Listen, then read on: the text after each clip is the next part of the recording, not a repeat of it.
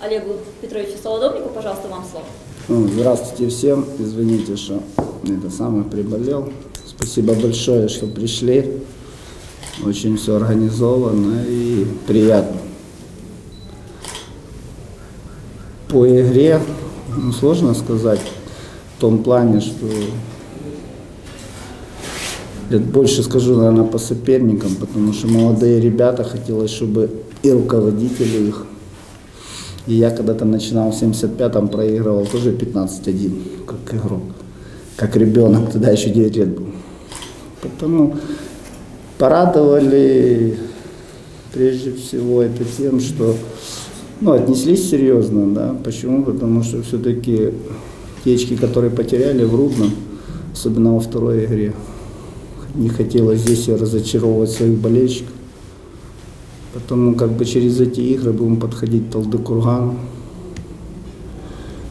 И, конечно, то, что есть время для адаптации для бразильцев.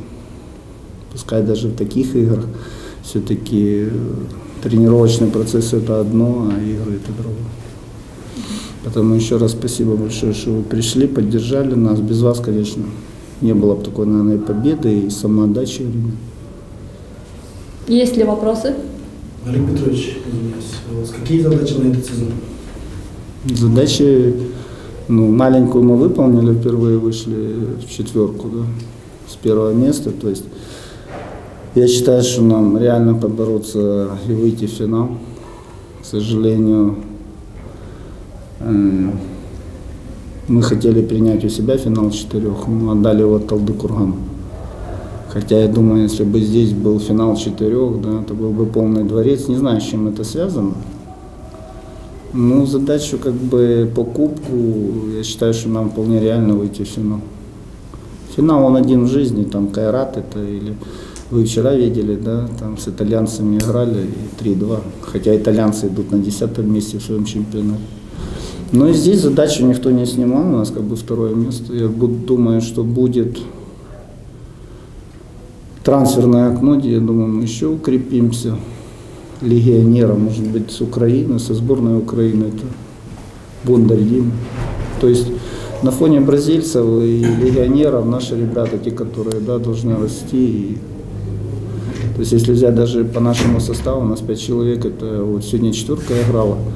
Это ребята те, которые будут представлять наш город, нашу команду Ю-21. Это Турихан, Ренат, я, к сожалению, по фамилиям, Асхат и Альберт. Это и этот самый. Это та команда, которая, ну, ее 21 они будут на чемпионате просто.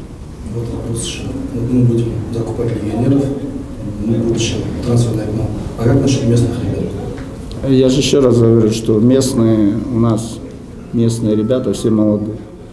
То есть молодые они будут, и я как бы с президентом с нашим клуба разговаривал эту тему. У меня нет такого, что там, я же не приехал, не привез с собой 8, правильно, легионеров, хотя и такая возможность у меня была.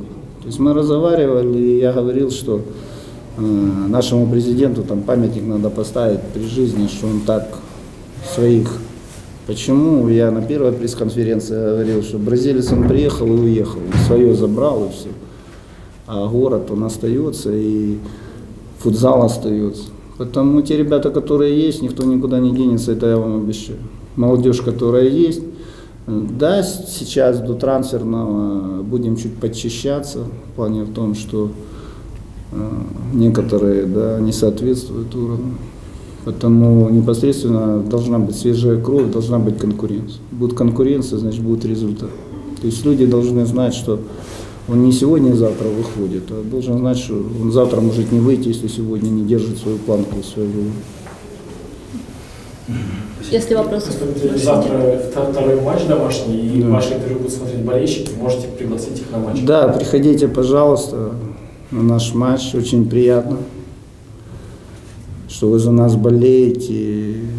Я уверен в том, что наши ребята своей самоотдачей и своим отношением к делу выполнить эту задачу, ну, то есть победу. Все. Еще раз пускай приходят, мы всегда рады пообщаться. И я смотрю, и ребята тоже, те же бразильцы, там, они там селфи, да, селфи, да, селфи, все это очень приятно тоже. Потому это ж хорошо.